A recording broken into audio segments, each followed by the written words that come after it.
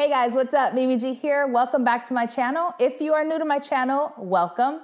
Today we're gonna to be doing a sew along to a new McCall pattern 8367. Now, this is not a learn to sew video, so if you need further instruction, you might wanna check out my online sewing classes at sewacademy.com. All right guys, let's talk fabric. Now you can make these pants out of a challis, a ripstop nylon, a crepe, a rayon, basically anything woven, super lightweight, and drapey.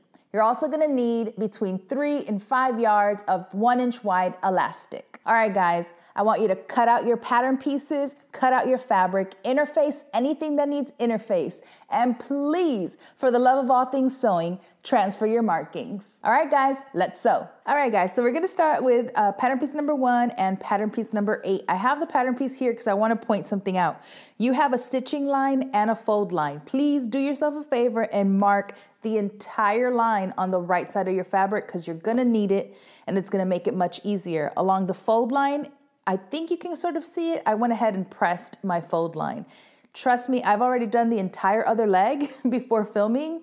So um, this is gonna make it much easier. So mark both your stitching line and your fold line and then turn your fold line and give it a press. Okay, so with right sides together, we're gonna go ahead and join the upper front to the middle front and you have a notch there. Okay, so I'm gonna pin there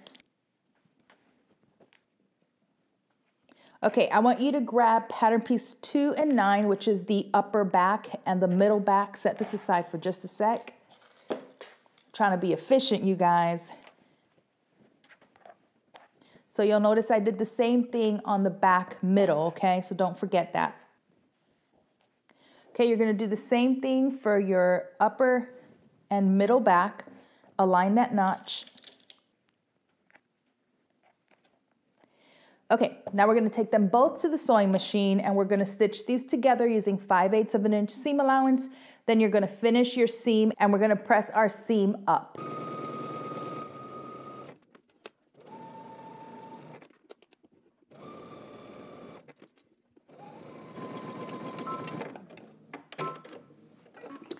Okay, go ahead and finish your seam allowance. You're gonna go ahead and join your upper back and your middle back the same way. All right, guys, so we have our front upper, middle, and back upper and middle sewn together. We're gonna go ahead and work on our pockets. So for your back piece, for your back pocket, your pocket is sort of tall and narrow, okay? And then we have another pocket that we're gonna use for the front, but since we're working on pockets, let's go ahead and knock them all out so that we're already ahead of the game when we get to it. I'm gonna set that aside for just one sec. Okay, so we're gonna go ahead and fold down right sides facing so that your at your fold line, or in my case, my notches. We're gonna stitch using 5 eighths of an inch seam allowance. We're gonna stitch and then we're gonna continue that stitching line so it serves as a guide all the way up. We're gonna do the same thing while we're at it to the front side pocket. This is attached to the middle section, but when we get there, the pocket will be ready. You should also have the same marking. You're also gonna do the same thing. You're gonna fold along that line and you're gonna do the same stitching line.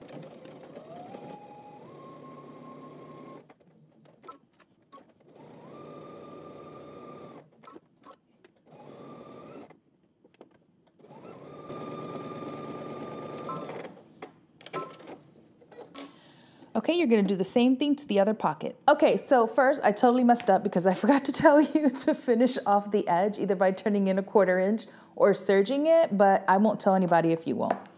Um, you're gonna go ahead and turn this to the right side, poke out your corners, and then you're gonna press using that stitching line as a guide. Once you have it nicely pressed, we're gonna go ahead and top stitch across the top of your pocket. Now let's go ahead and pin our back pocket to our back pant. Okay, so I'm gonna go ahead and place my pocket on the back. You should have two little dots that you marked. You're gonna align your pocket there and go ahead and pin it.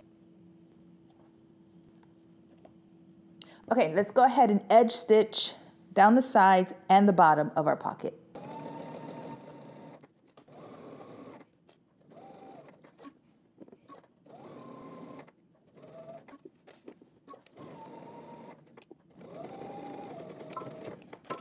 Okay, you're gonna go ahead and stitch down your pocket to the other back piece the same way. All right, we're gonna go ahead and pin our side pockets to our front and our back. So with right sides facing, you're gonna go ahead and place your pocket, align that notch, because you do have a notch there, and pin. You're gonna pin all four pockets. You're gonna pin your other back and then you're gonna pin your front same exact way. We're gonna stitch this down using 3 eighths of an inch seam allowance.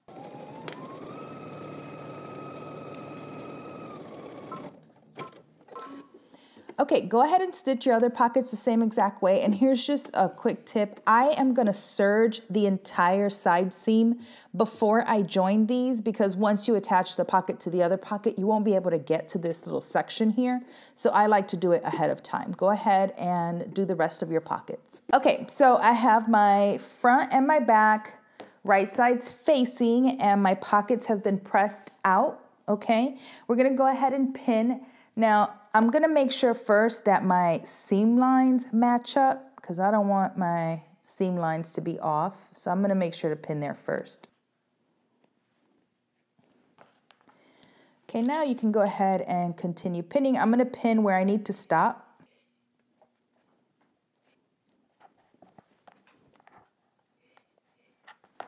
Okay, we're gonna go ahead and stitch our pockets together. So we're gonna go ahead and start at the top. We're gonna stitch to our first dot, back stitch and break your thread. Then we're gonna start at the next dot, leaving an opening for your hand.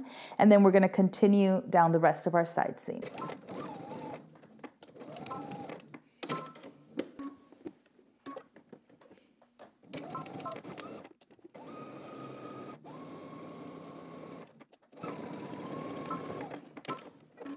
Let's go ahead and close out our pocket. Again, we're using 5 eighths of an inch seam allowance.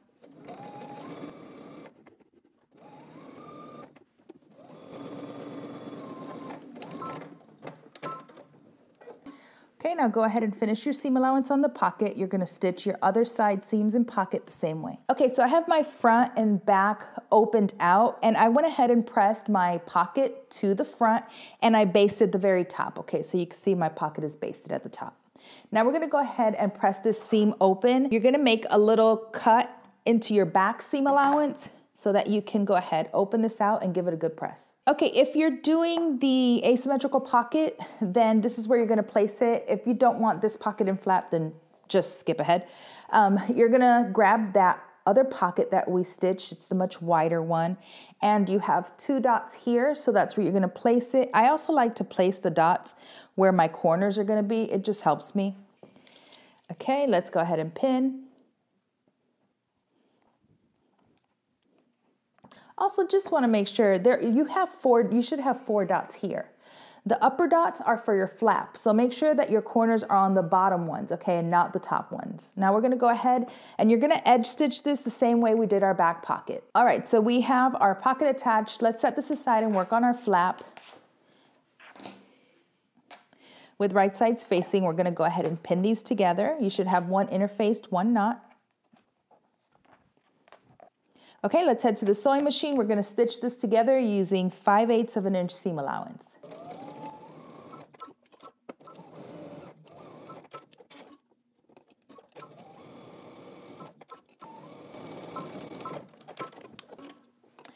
Okay, you're gonna go ahead and trim your seam allowance, cut into your corners, and turn this over and give it a good press. Okay, so I have my pocket flap press, turn right side out. Now it doesn't tell you to do this in the instructions, but I love a good uh, top stitch, so I did go ahead and top stitch my pocket flap 3 eighths of an inch. Now you're gonna go ahead and with right sides facing, you're gonna go ahead and place it at those other set of dots that you have and pin. Okay, we're gonna go ahead and stitch this down. Okay, so the seam allowance is 5 eighths of an inch. I like a large sort of pronounced flap, so I'm gonna stitch mine down at 3 eighths of an inch. So you decide if you want the 5 eighths or the 3 eighths.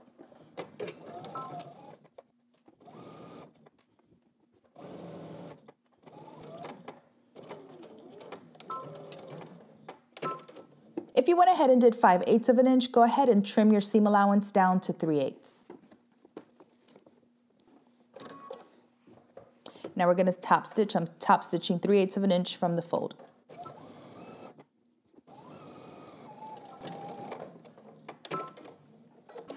Okay, you're gonna do the other pocket flap the same way. Okay, so with right sides facing, we're gonna go ahead and stitch together our inseam. Now you have a seam here, right? So you wanna make sure and pin there so you can align those seam lines. Okay, so head over to your sewing machine. You're just gonna stitch this down using 5 eighths of an inch seam allowance and then go ahead and finish your seam allowance with a serge or zigzag. Okay, so you should have both your pant legs sewn up. Now we're gonna go ahead and attach the bottom. So first let's join our bottom pieces together. This is the lower front and the lower back of our pant leg. So first we're gonna join them at the side. You have notches, so make sure that you pin there. Okay guys, go ahead to your sewing machine. You're just gonna stitch these together using 5 eighths of an inch seam allowance. Okay, so I have my bottom of my pant leg. We're gonna go ahead and attach this to the pant. So you're gonna leave this wrong side out and your pants are right side out. You're just gonna slip your pant leg in. You have a single notch for the front. You have a double notch for the back. So make sure that you pin there.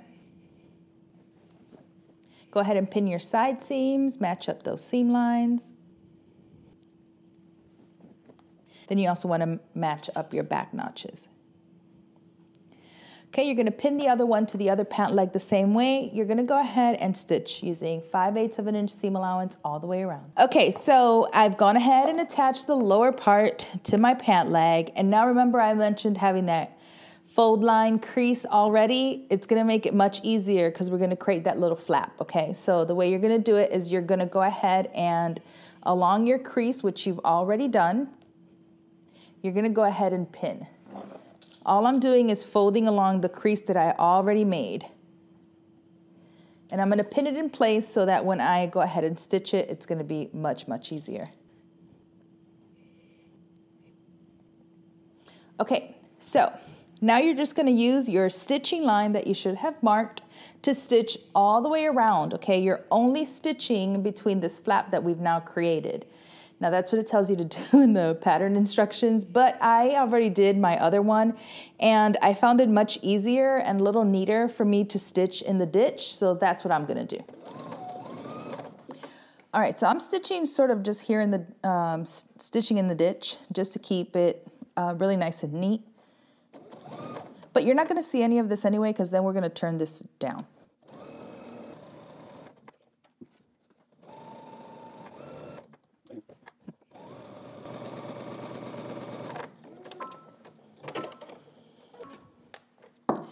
Okay, now you're gonna go ahead and press our flap down towards the bottom of our pan. Okay, so now we have this really cute little flap right here. We're gonna go ahead and join our front and back along the crotch. So I'm gonna keep one of my pant legs turned right side out and I have my other pant leg turned wrong side out. I'm gonna go ahead and slip the one that's right side out into my other one so that way right sides will be facing. I'm gonna make sure that I align our inseams and pin You have three notches for the back of your pant leg. Make sure and you pin there. And the two notches for the front. Okay, now we're gonna go ahead and stitch our crotch together. So you're gonna start at one side, we're gonna stitch going through and pass our inseam and then up the other side using 5 eighths of an inch seam allowance.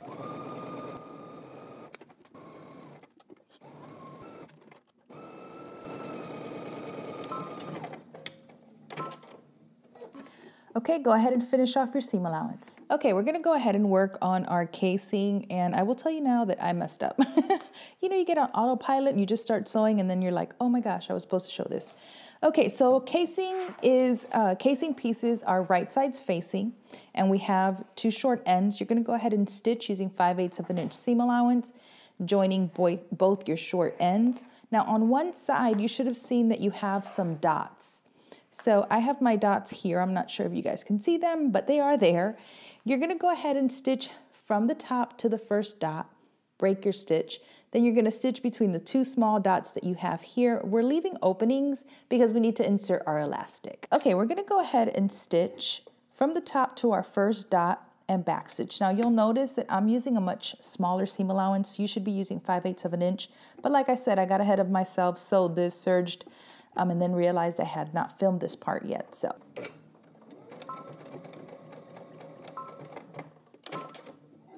Okay, and I'm gonna move down and I'm gonna stitch just between my two dots.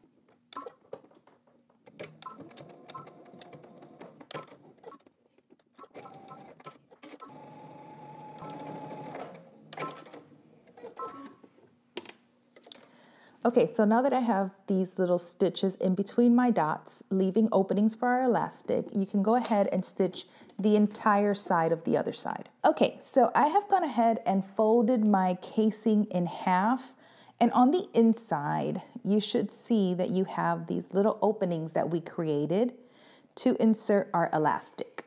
So on the other side, I have roughly transferred my stitching lines and you're just gonna go ahead and follow your stitching line all the way around your casing. We're gonna first create our casing lines, then attach the waistband to our pants, then insert our elastic. So go ahead and create your stitching lines all the way around your waistband. Okay, I've already created one row of stitching. I'm gonna go ahead and do the other ones. And again, I'm just following my marking all the way around.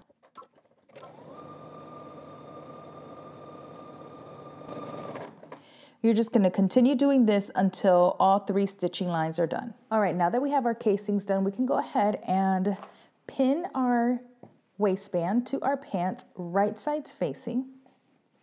Remember that your openings should be on the wrong side. And I'm gonna pin first at my side seam. You also have some notches that are helpful.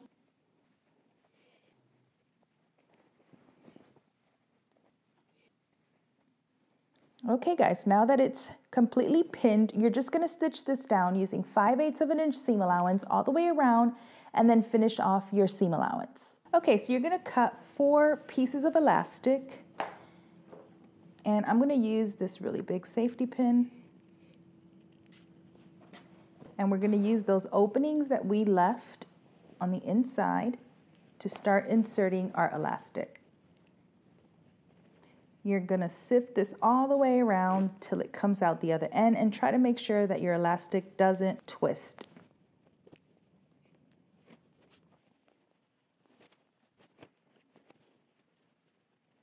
Okay, you're gonna pull your elastic out through the same opening. And you wanna go ahead and overlap these I'm overlapping by a half inch because that's what I gave myself plus my waist measurement.